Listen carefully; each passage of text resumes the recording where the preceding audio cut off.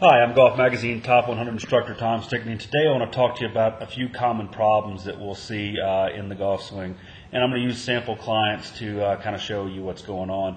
Um, this particular gentleman likes to play uh, a little stack and tilt type of feel, and you can see he is definitely on his forward foot. As he takes it back, what a lot of people do with stack and tilt is they tend to drift off the golf ball instead of staying on their left side. And once you drift off the golf ball, now you put a lot of lateral motion in this stack and tilt type of system, which is more of a rotary system. So all of a sudden, when you start bouncing around, it tends to move the low point around.